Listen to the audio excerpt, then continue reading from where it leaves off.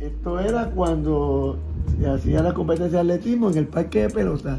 Había que pintar en cal los seis carriles. Y si llovía el otro día, era un comité como de, como de 30 entre maestros. Maestros me ayudaban a sacar agua y echar gasolina para poder secar, para poder hacer las actividades.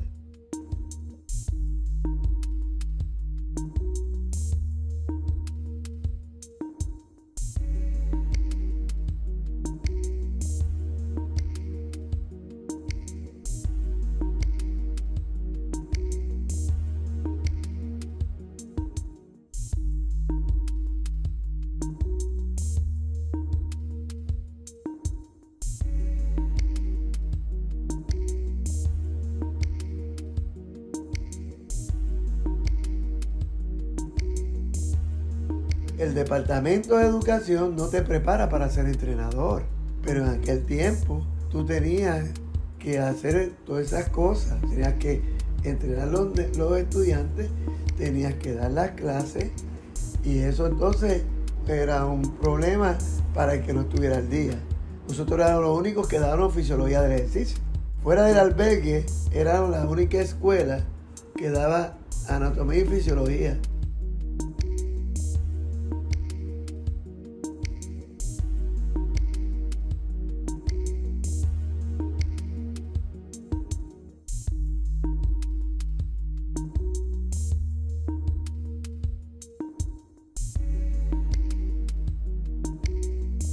No apareció la guagua.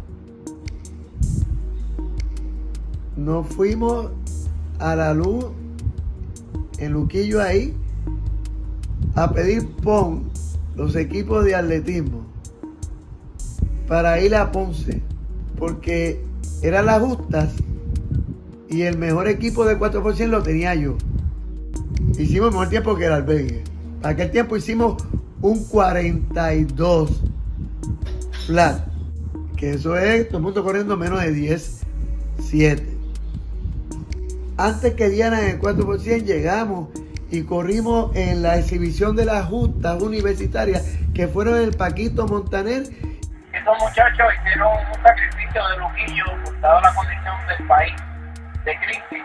De los padres trajeron a los alumnos y pensaban traer 100 y 200 alumnos que los acompañaran, se dio dificultad pero los padres se expulsaron y trajeron hijos para que tuvieran la oportunidad de estar en esta competición y el país entero lo puede ver.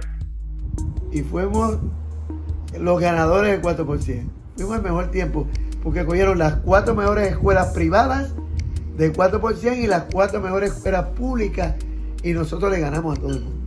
Bajo un mal tiempo nos tiramos para allá.